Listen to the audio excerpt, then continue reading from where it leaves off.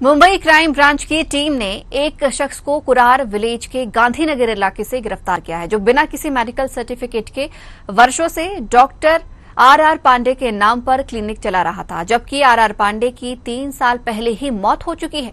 Crime branch ने फर्जी doctor को महाराष्ट्र मेडिकल प्रैक्टिसनर्स एक्ट और धोखाधड़ी के तहत मामला दर्ज कर आरोपी को कुरार पुलिस के हवाले कर दिया।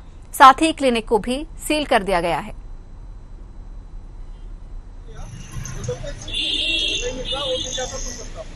कुरार पुलिस स्टेशन में गांधीनगर इलाके में एक सत्य प्रकाश मिश्रा नामक युवक खुद को डॉक्टर कहला के वहाँ पे दवाखाना चलाता था। क्राइम ब्रांच ने उनके ऊपर कानून कार्रवाई करके पुलिस के हवाले में कर दिए। उसके ऊपर एफआईआर दर्ज किए गए। तहकीकात के अंदर ये मालूम पड़ गया कि उसका ससुर तीन साल पहले गुजर गया था, जो डॉक्टर था। उसके नाम से उसके पेपर यूज़ करके वो खुद को डॉक्टर कहला के वहाँ पे दवा चला दवाखाना चला रहा था। अभी आगे की तहकीकात कुरार पुलिस थाने कर रही है।